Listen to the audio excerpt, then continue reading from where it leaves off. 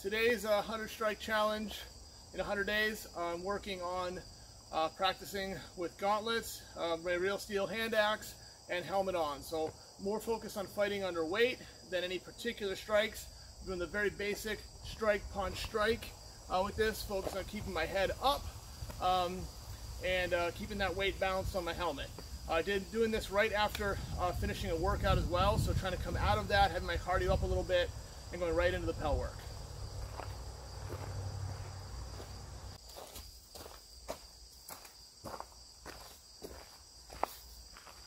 All right, helmet on, axe on, shield ready. If you can hear me in this, so 100 strikes, here I go.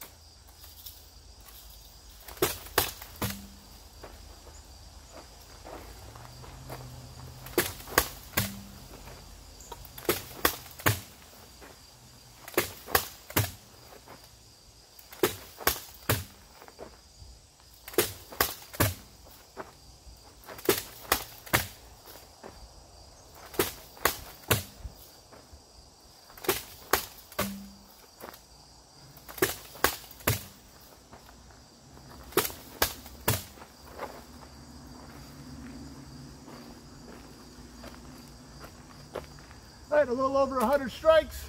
Uh, just practicing again, wearing the real helmet, real weapons and gauntlets. Make sure you're used to that weight and under fighting conditions.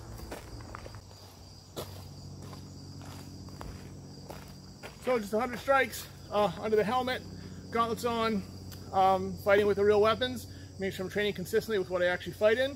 Again, for more information, uh, follow the knightshall.com or armored, sport, armored, com armoredcombatsports.com. Links will be in the description below. Um, like and subscribe, leave me messages if there's any you'd like to see.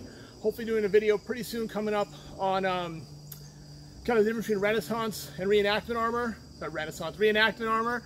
Um, and what we use, uh, kind of sport optimized, safe-ish armor for the sport and how it can get you hurt wearing the wrong things. Um, so why you got to listen to people and tell you what to buy, especially your regional commanders, your team captains, etc. Um, any other topics you're looking for, let me know. I'm glad to put up a video with any kind of resources I have.